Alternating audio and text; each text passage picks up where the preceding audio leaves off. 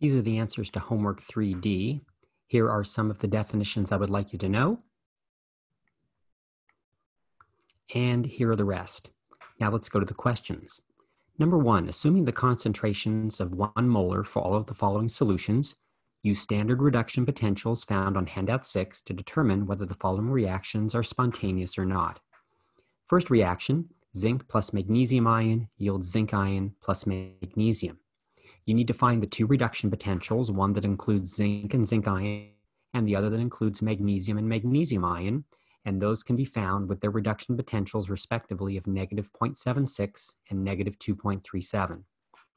To determine if the reaction is spontaneous or not, you need to reverse one of the reduction reactions to make it an oxidation so that when you add the reduction and oxidation, it exactly matches the reaction given at the top. The reaction at the top has magnesium ions as a reactant and magnesium metal as a product, which is exactly like the magnesium reduction reaction, so that's fine. But the zinc reaction is written incorrectly. We need to have zinc metal as a reactant and zinc ion as a product, so I have to switch the zinc reaction to make it an oxidation. When you reverse the reaction, that switches its reduction potential to an oxidation potential, and its sign is now changed to positive 0.76. Magnesium as a reduction still is negative 2.37. And if you add those two numbers together, you get a voltage for this reaction of negative 1.61. And this tells you data just like free energy changes do, only it's an opposite sign relationship. If it's a positive value for the voltage, the reaction, how it's written, is spontaneous. If it's a negative sign for the voltage, the reaction, how it's written, is non spontaneous. This one is non spontaneous. B, you have to look up the two half reactions, the two reduction half reactions in the table that will allow you to come up with this reaction here. We need to find a reduction reaction with iron and iron 2, and another reduction reaction with chlorine and chloride ions. These were the two reduction reactions given, the iron reduction potential negative 0.44, the chlorine reduction potential 1.36. The chlorine reaction is written perfectly. The diatomic chlorine is a reactant and the chloride ions are a product but the iron reaction is written incorrectly because we need to have elemental iron on the left and we need to have iron two ions on the right. So I have to reverse the iron reduction reaction, make it an oxidation, and its oxidation potential will now be the opposite sign of the reduction potential. It will be positive 0.44. The chlorine reduction potential was 1.36, and if we add these two together, we get 1.80, which is a positive voltage, which means the reaction, how it's written, is spontaneous. C. The reaction of silver plus oxygen plus hydrogen ions yields silver ions plus water was a little bit more challenging. You had to find a half reaction that had silver and silver ions, which was easy to do. But the other half reaction needed to have oxygen and hydrogen ions on one side and then water on the other. So the silver reduction reaction was at the top, it was 0.80. But the other one that had hydrogen ions and oxygen and water was a reduction potential of 1.23. So if you found these two half reactions, the way we make them add up to the top one is we leave the oxygen reaction exactly how it's written because it already has hydrogen ions and oxygen as the reactants and has water as the products as we need. It's the silver half reaction that is unfortunately written incorrectly because we need to have elemental silver as a reactant and silver ions as a product. So if I reverse the silver reduction to make it an oxidation, its potential now becomes negative 0.80 the oxygen, the oxygen in the water's uh, reduction potential was 1.23. And if we add these together, it comes out a positive number. And so therefore, this is a spontaneous reaction the way it's written. In D, we had the silver chloride as a solid, which means you had to find a half reaction that actually had AgCl solid in it. And if you scour the table, there was only one in there. It said silver chloride yields silver plus chloride. So that's where we get the silver chloride and the silver from. What's missing is the diatomic chlorine. So you had to find a reaction that had diatomic chlorine in it.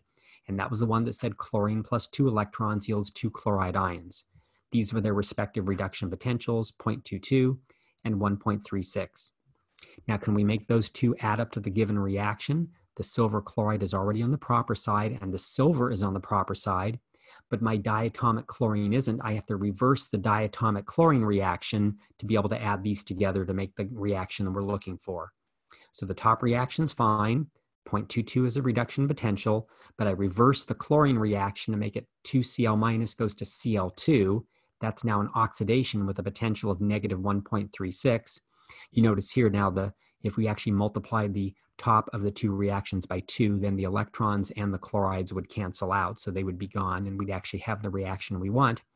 If you add the voltages together because they come out negative, that means this reaction is non-spontaneous, how it's written. So if you have any silver chloride precipitate uh, sitting in a beaker or something, you don't have to worry about it turning into, well, you don't get to have it turn into elemental silver and then poisonous chlorine gas.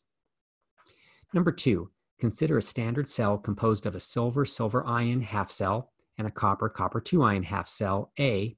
Write the spontaneous chemical reaction that takes place.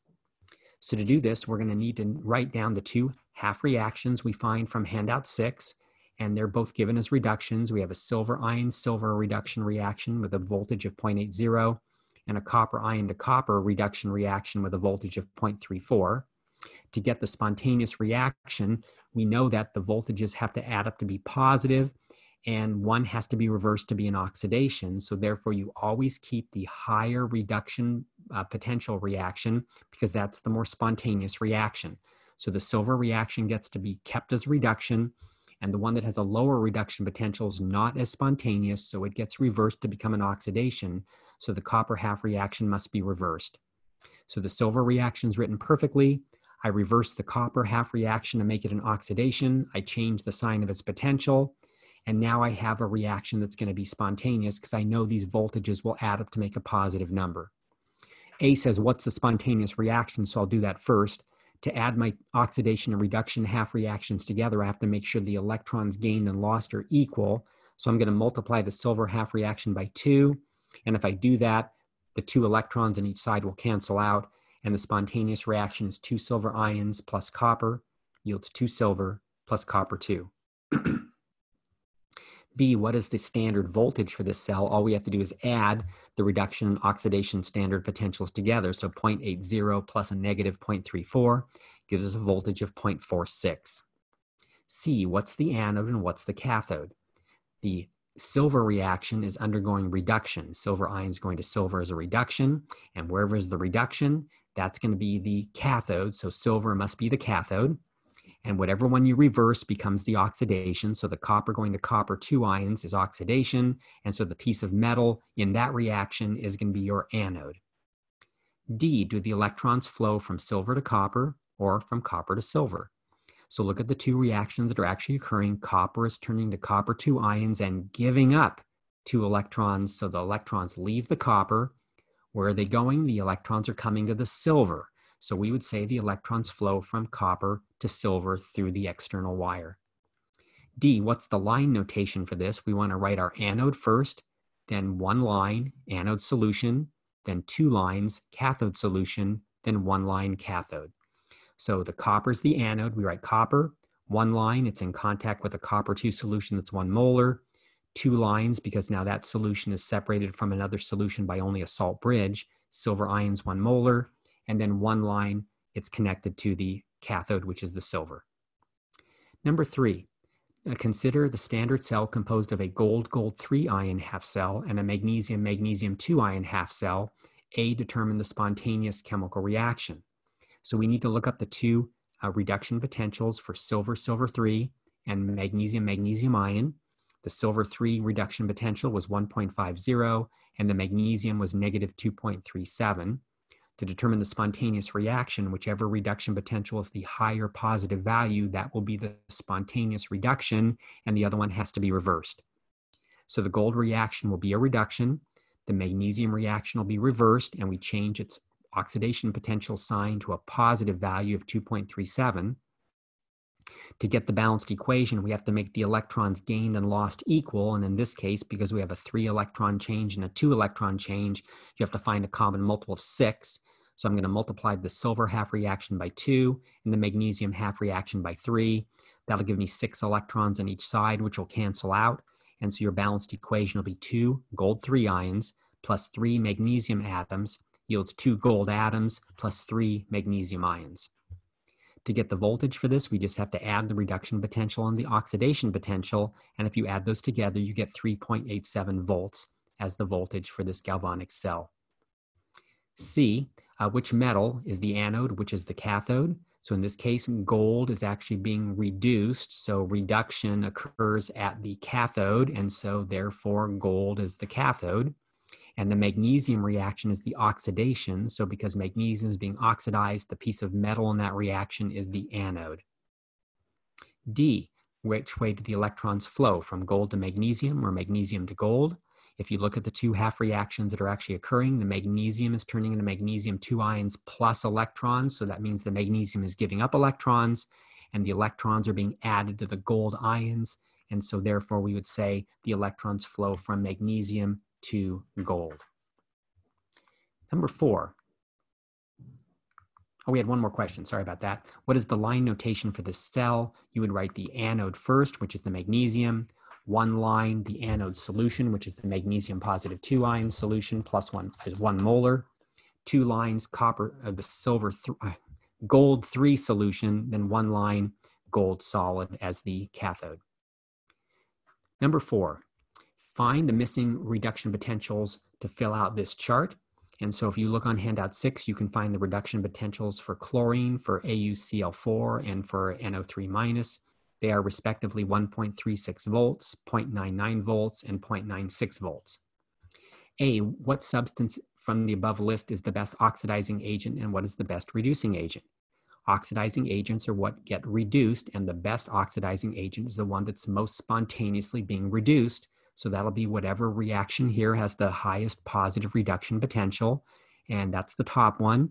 And the reactant there is permanganate, and so the permanganate has to be the best oxidizing agent because it has the strongest tendency to be reduced. What's the best reducing agent? Well, that's going to be whatever tends to be oxidized the most. So you have to go to the least positive reduction potential. That's the one at the bottom, the 0.96 and oxidation is the reverse reaction. So if you reverse the reaction, you would then have the most spontaneous oxidation reaction. And so what would be reacting then? It's that NO. That's the product in that last reaction because if you reverse it, it becomes the reactant. So the best reducing reagent would be nitrogen monoxide. B, will permanganate oxidize metallic gold? These questions all seemed a little challenging at first, but if you can translate them into simpler English, all of a sudden they're, become, they're going to become really easy. Instead of using fancy verbs like oxidize, just say, will permanganate react with gold? So you're trying to figure out if the reaction of permanganate and gold is spontaneous or not. So you want to add two potentials together in which the permanganate is a reactant and the gold is a reactant. So look at the very first reaction at the top. Permanganate's on the reactant side. That's where you want it. The voltage for that, 1.51. Where do you find gold in here? It's in the second reaction, right? But where is it on? It's on the product side by mistake. So you have to reverse the second reaction to put gold on the reactant side. If you do that, the potential changes to negative 1.50. All you do is you add those together. So for putting permanganate on the reactant side, 1.51 volts, for putting gold on the reactant side, negative 1.50 volts, this adds up to 0.01 volts. That's a positive number. That reaction will be spontaneous. That means permanganate will react with gold, or more fancily, permanganate will oxidize metallic gold. C, will metallic gold reduce nitric acid? Let's change the fancy verb there to a more simple one. Will gold react with nitric acid? So you want to make a reaction where gold and nitric acid are both on the reactant side. So once again, gold is in the second reaction, but it's actually on the product side. So we're going to have to reverse it and switch the potential to negative 1.50. Where's the nitric acid? It's in the fifth reaction, the very bottom, and it's the nitric acid is the hydrogen ions plus the nitrate. It's already on the reactant side, so we'll leave its potential 0.96. Just add those numbers together negative 1.50 and positive 0.96 comes out negative 0.54 volts, negative value, therefore non-spontaneous. D, will nitric acid oxidize metallic gold in the presence of chloride ions? So translating again, will nitric acid react with gold when chloride ions are present? So nitric acid, will it react with gold plus the, the chloride ions? So once again, the bottom reaction has the nitric acid on the reactant side, which is perfect. That voltage is 0.96. Now we have to get it to react with gold with chloride ions. So it's not the second reaction, it's the fourth reaction. Look on the product side, gold plus chloride ions. If I reverse that, I'll put the gold and chloride ions on the reactant side. I change the voltage to negative 0.99. And when you add those voltages together, you get a negative number. So therefore, this is a reaction that will not occur. E, will metallic gold reduce pure chlorine in the presence of water? Translating, will gold react with chlorine? So gold is in our second reaction. It's unfortunately on the product side. We have to reverse that to put gold on the reactant side. And that voltage now becomes negative 1.50. Whereas chlorine, chlorine is in the third reaction. It's already on the reactant side. That's perfect. We leave its voltage 1.36. Add those two together. This comes out a negative number. Therefore, this reaction will not occur. You can therefore say metallic gold will not reduce pure chlorine gas in the presence of water. F, will chlorine oxidize metallic gold if chloride ions are present? So will chlorine react with metallic gold when chloride ions are present? So the reaction for the chlorine is the third reaction. It's already on the reactant side, 1.36 volts. Where's gold with chloride ions. That's the fourth reaction. They're on the product side. You have to reverse that to make them the reactants. That changes the voltage to negative 0.99. When you add 1.36 and negative 0.99, you get a positive voltage. Therefore, this reaction is spontaneous. So therefore, gold will ox- or chlorine will oxidize metallic gold if chloride ions are present.